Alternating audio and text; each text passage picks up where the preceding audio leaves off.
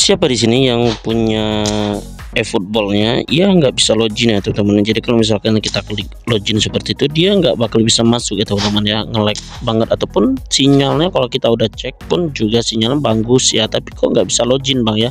Apakah ada error? Ini sebenarnya error dari aplikasi ya teman-teman ya. Jadi bukan dari sinyalnya. Jadi buat kalian yang ada hal yang seperti ini juga kan bisa ikutin tutorial saya sampai selesai ya. Dan jangan di skip ya biar kalian nggak menyesal nanti.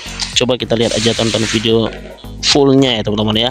Jadi langsung aja ya kita coba ya teman-teman ya. Di sini masih ngelag banget ya.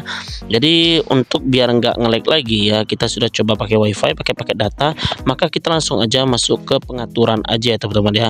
Nah jadi di sini kita masuk ke pengaturan pengaturan handphone kita ya teman-teman. Dan kemudian kita scroll ke bawah kita pilih di bagian aplikasi ya. Kalau misalkan handphone kan Samsung mungkin di bagian manajemen aplikasi. Nah ini klik di bagian manajemen aplikasi seperti ini dan kita cari aja aplikasi e-footballnya ya teman-teman. Nah di sini ada aplikasi e-footballnya. Kemudian kita pilih di bagian penggunaan penyimpanan di bagian bawah ini ya teman-teman. Nah di sini kita klik hapus change. Yang paling bawah ya itu merupakan sampah ya teman-teman. Nah selanjutnya kita akan mau menghapus data. Nah ini ya teman-teman yang saya, saya katakan tadi. Jadi ini kalau misalkan kita mau menghapus data ini pastikan memang benar-benar kalian udah tertaut akunnya itu akun e-football kalian itu udah kalian tautkan ke ID Konami kalau enggak ke Google Play ya teman-teman ya. Di sini saya sudah menautkan ke akun Google Play juga ya teman-teman. Jadi nanti mudah banget untuk mentransfer datanya. Jadi buat ini saya langsung menghapus datanya teman-teman ya. Nah ini sudah terhapus data saya. Jadi buat kalian yang yang belum menautkan akun Everball jangan sekali-sekali kan menghapus datanya ya teman-teman ya. Karena nanti gak bakal kembali lagi ya akun Everball kalian. Nah di sini tanpa skip ya teman-teman ya. Bisa dilihat ya saya nggak skip apa-apa ya teman-teman ya. Ini terjadi kendala ini sekitar di tahun 2021 dulu juga hampir sama seperti ini teman-teman ya. Jadi ada beberapa handphone orang di Indonesia ini yang sama seperti ini ya teman-teman ya. Nggak semuanya. Jadi kalian mengalami seperti ini bisa tonton ya.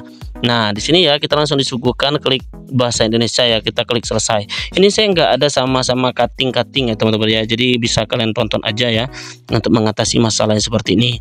Nah kita klik ya di bagian situ. Kemudian kita lihat ya teman-teman ya di sini langsung kita masuk e-football Nah, di sini saya nggak nggak ada motong-motong videonya teman-teman ya. Di sini belum sama sekali karena sudah terhapus data kita. Jadi kita klik garis tiga di bagian kanan bawah ini ya teman-teman ya. Garis tiga tersebut kita pilih aja langsung klik. Kemudian kita klik di bagian transfer data. Kita harus transfer data ya teman-teman ya, biar kita bisa login akun football kita lama.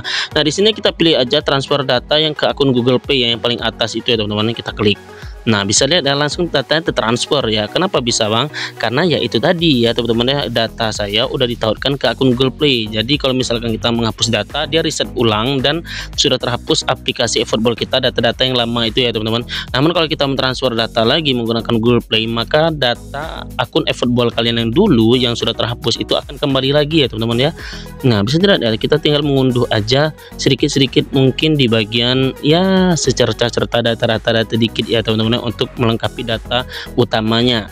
Nah di sini ya bisa lihat teman-teman saya nggak ada nge-skip video ini atau memotong video ini. Bisa kalian lihat kalau misalkan kalian uh, mau mengikuti tutorial ini pastikan kalian harus mentautkan data kalian terlebih dahulu ya dulunya gitu. Nah bisa lihat ya ini udah kita masukkan aja kita klik lanjutkan. Nah bisa dilihat ya. Nah langsung masuk ke aplikasi akun eFootball saya yang lama ya teman-teman ya. Nah bisa dilihat ya ini udah aplikasi saya yang lama data yang saya lama dia bisa login. Nah seperti itu teman-teman itu cuma satu-satunya cara yaitu menghapus data. Kalau kan pakai yang lain mau pakai wifi kayak mau ganti kartu itu nggak bisa ya udah saya coba ya teman-teman karena ini dari servernya seperti itu.